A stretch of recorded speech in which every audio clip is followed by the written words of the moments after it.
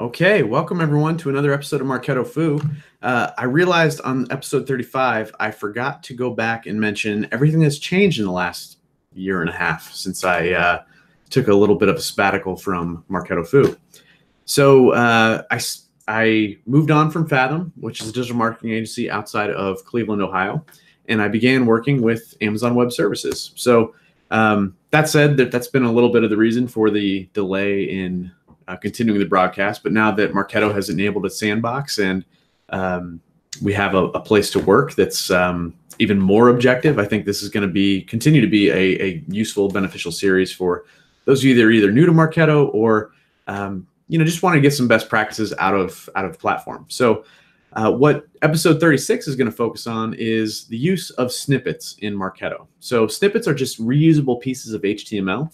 So you can use them in uh, emails and landing pages in Marketo, and they can also be dynamic. So we're going to take a quick look at what that looks like inside Marketo. So I'm going to share my screen here. And I think that works. Yep.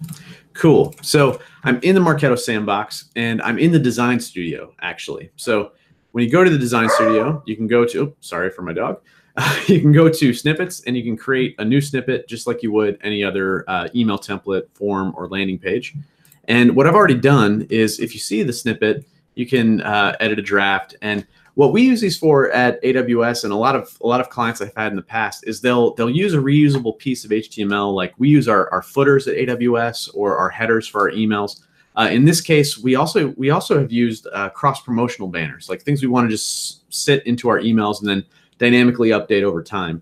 So in this case, uh, in, in that use case, you could use just a simple image. So I, uh, when you make Marketo Fu, you can force people to look at pictures of your dog. So what I've what I have here is a picture of my dog in my backyard, and uh, basically, you can customize this HTML any way that you would by any other means. So uh, I can go to the HTML editor and customize this any which way. So I have uh, some max width uh, and max height um, things in here. So for the email template I'm about to show you, that will work out.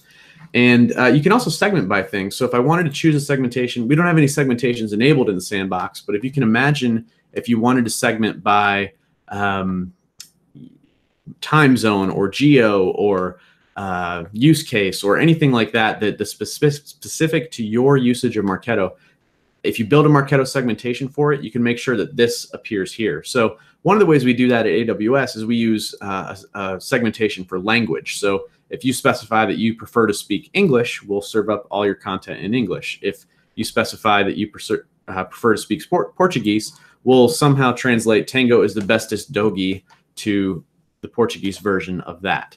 And uh, we, we could create multiple versions and, and then make sure that when we send you the email, that whatever your language preference is, Marketo will honor it.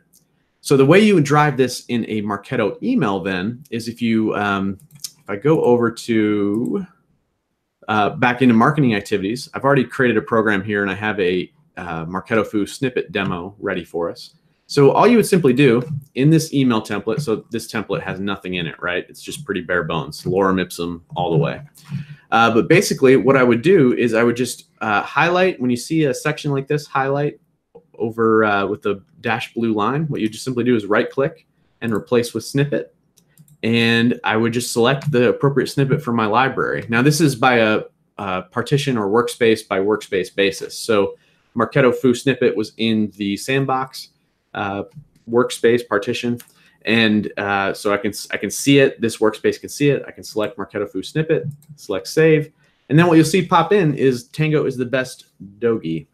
Um, but it, like I said, if I if I had segmented segmented that here over on the snippet itself by language or whatever else, and I had uploaded a different version of this text overlaid on the image with that translated text, what I would see back on the email, if I were to segment this by language as well, I would be able to put a the snippet would automatically update to say that to satisfy that particular segment. So um, that is essentially how snippets work. They're just reusable pieces of HTML.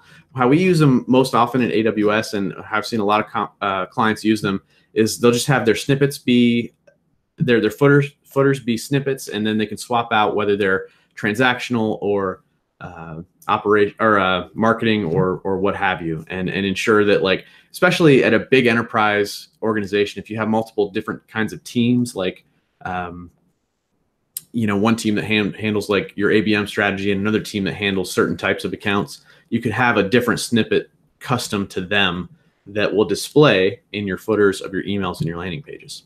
So that's a very quick, simple tutorial uh, on snippets in Marketo. Uh, I'm going to find where